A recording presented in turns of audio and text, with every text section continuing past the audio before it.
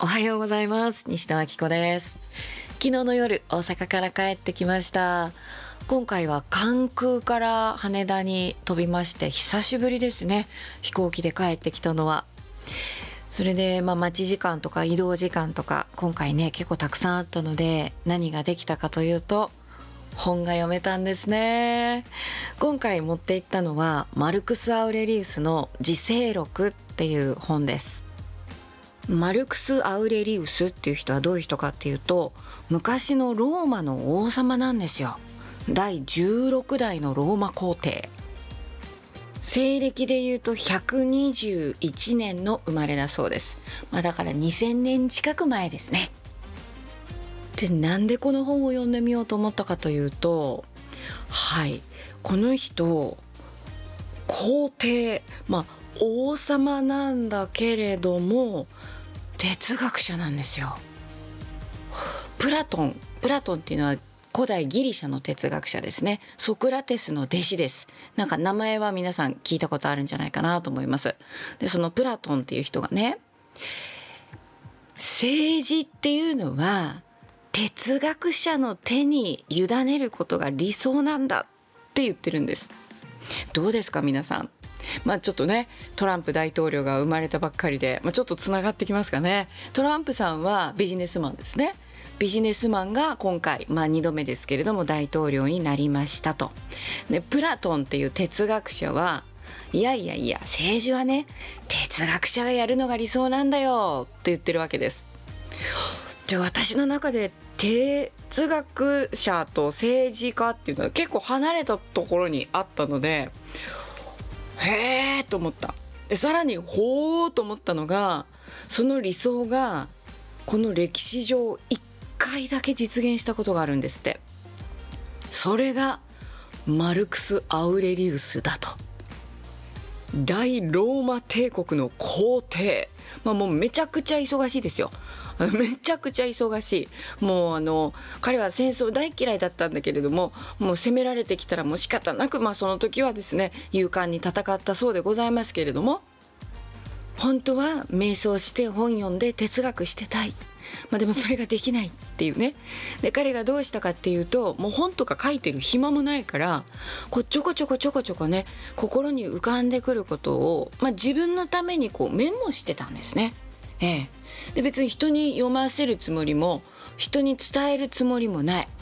でそんな、まあ、バラバラに書かれた文章が一冊の本としてまとめられてるのが「自生録」っていうそういう本なんです。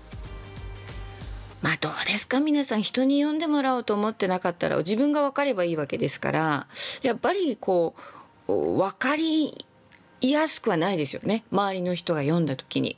うん、だから実際この歌詞は何て書いてあったのか分かりませんみたいなところもポコポコと出てきたりします。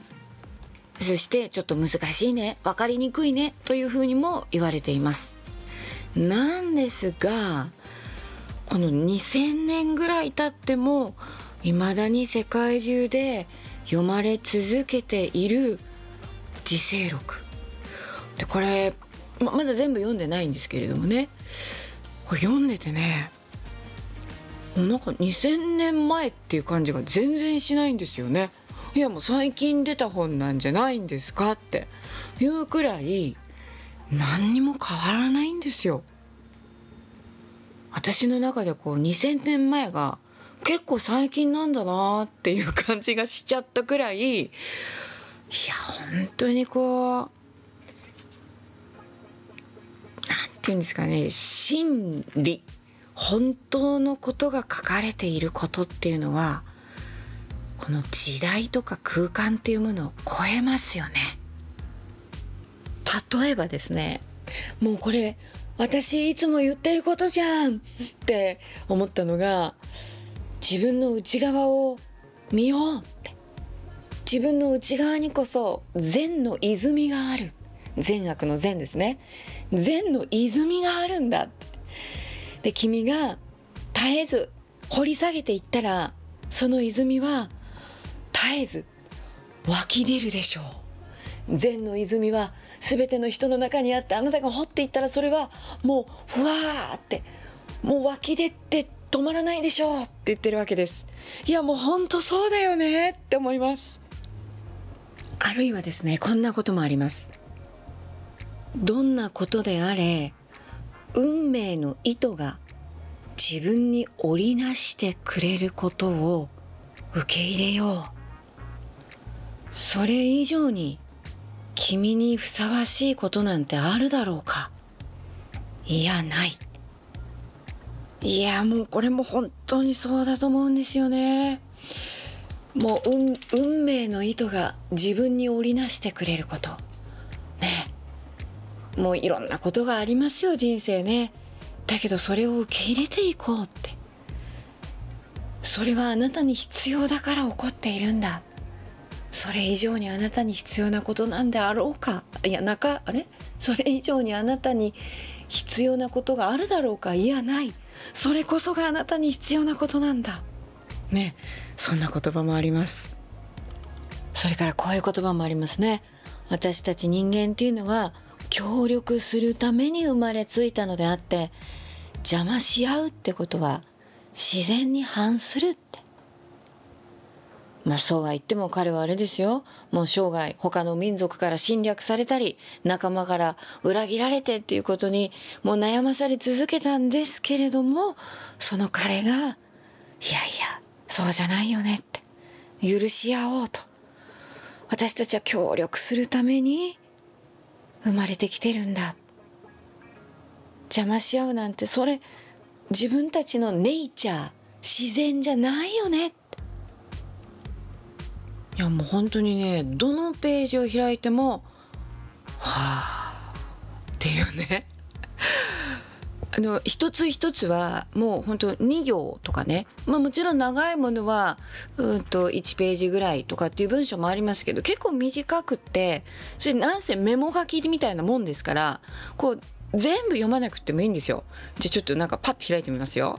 うんあはい197ページ。あこういうのどうですか？これ第10巻16っていう言葉ですけれども良い人間のあり方いかんについて論ずるのはもういい加減で切り上げて良い人間になったらどうだ？もういい人間とはどうなのかどんな人間なのかとかね。もうそんなのいろいろもう喋るのはもういいから終わりにしてあなた自身がいい人間になったらどうですか？って言ってるね。ほらもうこれ2000年前から言ってるんですよ。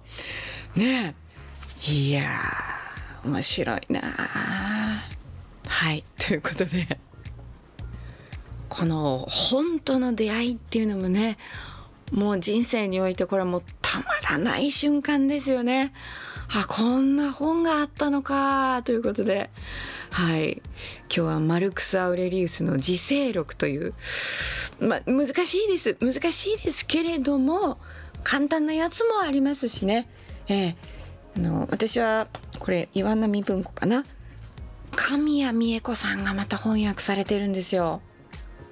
神谷美恵子さんっていうのは精神科医でねそれでハンセン病の方々に寄り添い続けたそういう方ですね。